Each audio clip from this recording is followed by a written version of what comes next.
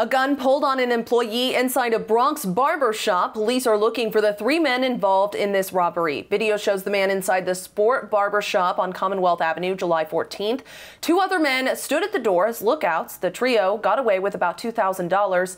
Anyone with any information is asked to call NYPD Crime Stoppers at 1-800-577-TIPS. Katie Johnston for CBSN, New York.